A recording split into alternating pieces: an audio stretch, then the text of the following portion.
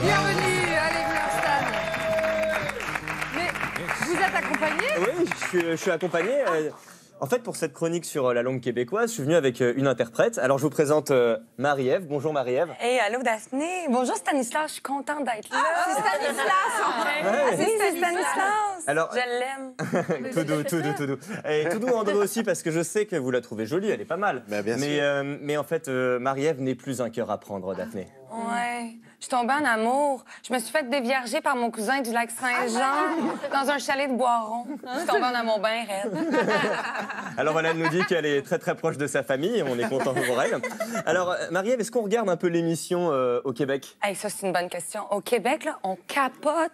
On capote sur Je t'aime, etc. Hey, on, on aime Daphné. Daphné, on te trouve bien bonne. Ah oui, c'est vrai. Oh, je le prends comme un compliment. Oui, ça veut dire que vous êtes excellente à l'animation. Ah oui, c'est ça, voilà.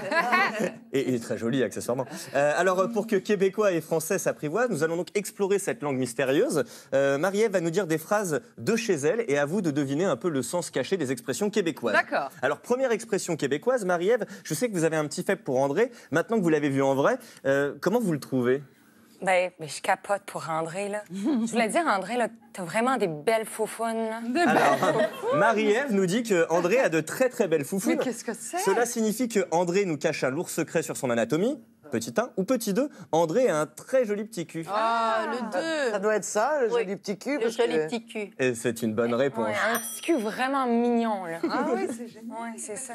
Mais c'est bien de nous prévenir parce que si on part au Canada et Ouais. qu'on nous dit, dis donc. On a des euh, belles foufounes. Oui, maintenant, on est Déjà, j'en ai qu'une seule. Et alors. c'est bien, et c'est bien Déjà, tu- poli, là, il n'y a pas de problème. C'est vrai. C'est pas un peu. Attends, non. donc, donc les foufounes électriques à. Mais les foufounes à électriques, Montréal, c'est un un joli nom, là. Il y a pas, C'est il y a- ça. D'accord.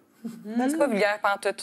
Deuxième expression, qui est un peu vulgaire peut-être. Marie-Ève, je suis sûr que vous appréciez la douceur du climat chez nous par rapport euh, à- au Grand Nord québécois. Euh, ça change un peu de chez vous? Et là, là, sur mon peu ta cassette, j'ai chaud, là, chez vous. là, au mois de novembre, il fait tellement chaud. Là, cette nuit, là, je me suis fait défoncer par des bibittes toute la nuit. là. Alors, Marie-Ève nous dit qu'elle s'est fait défoncer par des bibites toute la nuit. Alors, qu'est-ce que c'est? Ça veut dire que Marie-Ève a passé une nuit torride avec André Oui. ou que Marie-Ève a subi une attaque de moustique toute la nuit.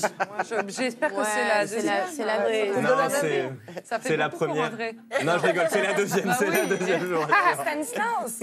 Bibite veut dire moustique euh, au pays de Marie-Ève. Magnifique, magnifique. Attention, troisième expression. Marie-Ève, euh, c'est pas trop compliqué de se déplacer à Paris avec la Hidalgo, les voitures berges, tout ça, on galère pas trop Et là, là, j'étais avec mon char dans les carrefours giratoires, là.